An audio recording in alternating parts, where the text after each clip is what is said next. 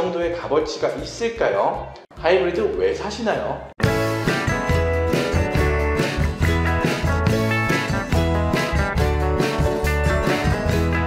안녕하세요 랜미 김태웅 대표입니다 오늘부터 월수 금요일에는 이거 사 컨텐츠를 준비해봤어요 당연히 에이전트 car master 수수료 둘 다 모두 0% 견적서인 거 아시죠? 준비되셨나요? 그럼 바로 시작해볼게요 오늘 이거 사 아반떼 시간이에요 아반떼가 참 정겹죠? 처음 아반떼가 나온 후로부터 벌써 20년이라는 세월이 흘렀어요 지나간 세월만큼이나 많은 변화를 거듭했던 아반떼가 이번에 사고를 제대로 쳤네요 이번에 새롭게 하이브리드와 M9을 공개하면서 한 번 더 관심이 쏠렸어요. 근데 하필 이 타이밍에 재수가 없는 건지 폭스바겐 제타와 비교가 돼버리면서 솔직하게 이게 팔릴까 싶기도 해요. 어, 이런 얘기하면 또 팩트로 때려야 되는데 아니 그렇지 않나요? 폭스바겐은 독일차인데 아반떼랑 가격도 비슷해요. 그럼 이거 뭐 선택의 여지가 있나 싶기도 하고요. 제가 봤을 때는 일반 가솔린 모델은 살아남기 쉽지 않을 듯하고요. 하이브리드가 그나마 살아남지 않을까 싶어요. 그래서 오늘은 시간 관계상 아반떼를 다 파볼 수는 없고요. 하이브리드만 콕 집어서 얘기해 보겠습니다. 하이브리드를 얘기할 때는 항상 가장 중요한 게 발주 넣으면 도대체 언제 차를 받을 수 있는데가 가장 중요해요. 딱 말씀드릴게요. 현재 기준으로는 15주입니다. 딱 발주 넣고 그냥 잊고 계시면 어, 계절 한번 바뀌면 차가 나올 거예요. 그럼 아반떼 하이브리드 이 정도의 값어치가 있을까요? 저는 있다고 봅니다. 현재 준준형 중에 유일한 하이브리드 세단이라고 봐야겠죠. 준준형이다 보니 일단 가격이 저렴해요.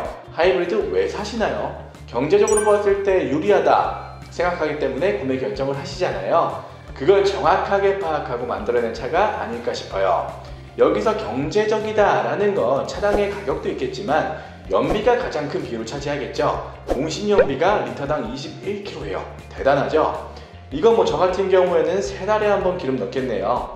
서울이나 경기권에서 매일같이 출근하시는 분들은 진짜 메리트가 있을 것 같아요. 아침, 저녁으로 엄청나게 막히잖아요. 저도 강남으로 이사 오기 전까지는 몰랐는데 진짜 출퇴근용으로는 하이브리드 강추입니다.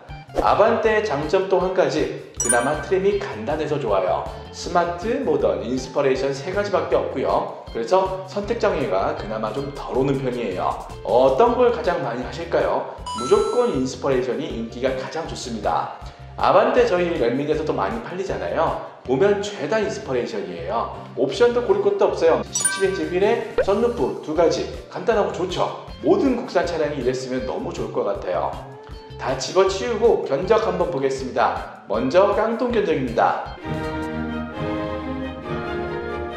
뭐야 왜 이렇게 싸? 할 법하죠? 진짜 저렴해요.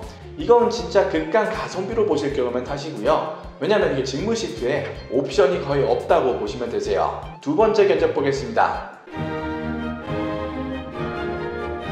리스 견적도 바로 보시겠습니다. 리스 괜찮죠? 솔직히 이건 리스가 더 괜찮은 거 아닌가 싶어요.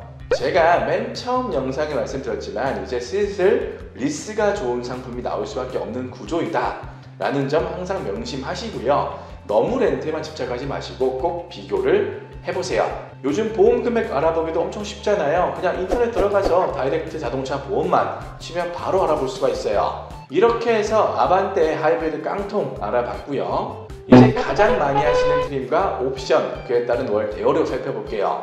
위에서 언급 드렸다시피 그냥 최고 등급이라 다 때려박고 타는 게 맞습니다. 어, 썬루프는 개취라서 빼고요. 인스퍼레이션에 17인치 alloy 휠 넣은 견적 볼게요. 먼저 최저가입니다. 두 번째 견적 볼게요. 리스 견적도 바로 보시겠습니다. 이렇게 해서 오늘은 역사가 있는 차량 아반떼에 대해서 알아보는 시간을 가져봤어요. 아반떼와 제타 비교들 많이 하시는데요. 제타는 아쉽게도 아직까지는 사전 계약을 제외한 정확한 어, 할인가가 나오지 않았기 때문에 이 점만 확실히 하게 된다면 바로 영상 올려드리도록 하겠습니다.